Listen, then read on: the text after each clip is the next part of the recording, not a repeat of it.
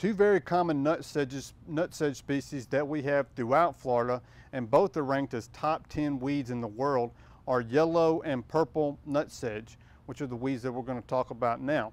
So yellow nut sedge is, we have yellow nut sedge here, um, and you can see the reason that it gets its name is because of these yellow uh, spikelets, which are the inflorescences or the flowers on yellow nut sedge.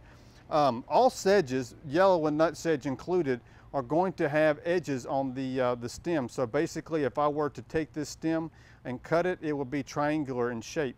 So you can roll it in your fingers uh, and it will have edges. So that's a great way to tell if a plant is a sedge rather than a grass. So tell a couple of differences between yellow uh, and purple nut sedge. Um, um, the, uh, one of the key characteristics is that yellow nut sedge will have these long, um, very narrow leaf blade. So if you look at the leaf blade, it becomes very thin uh, up at the top.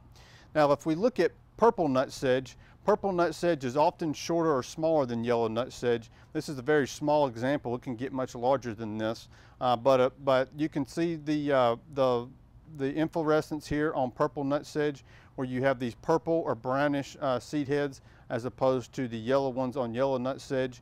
Uh, also, if you look at purple nut sedge, um, it will have a wider leaf blade and that leaf blade will stay wide uh, out to the, uh, the tip of the, um, out to the tip. So the tip is not near uh, as narrow as yellow nut sedge. So that's one way to identify the difference between yellow and purple nut sedge if you don't have those seed heads.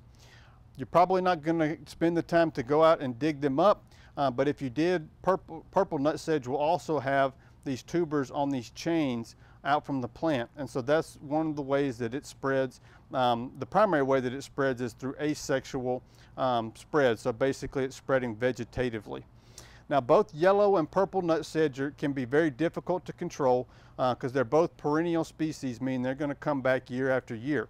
One of the um, active ingredients that's effective on both species uh, would be halosulfuron. Uh, that's one that's often recommended.